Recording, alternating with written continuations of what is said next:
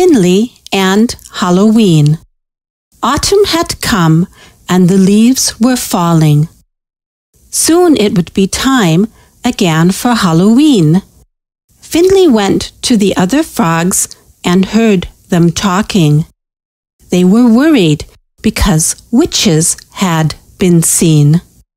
They said that witches catch frogs to use in their potions. Finlay didn't know of any frog that had been caught. He thought that was only a superstitious notion. He didn't know what to do and felt overwrought. The next evening, he passed a house on his way to the pond.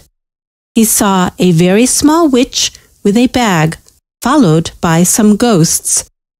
She shouted with the ghosts, Trick or treat! and lifted her wand. Their bags were filled, and he thought that the witch got the most. The witch was very small and didn't seem to be interested in frogs. She ran to the next house, and other interesting creatures joined her. There were now many different creatures, and one held a leash of a dog.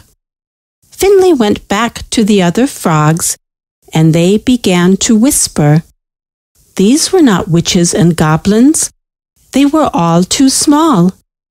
They were children in costumes and were having a ball.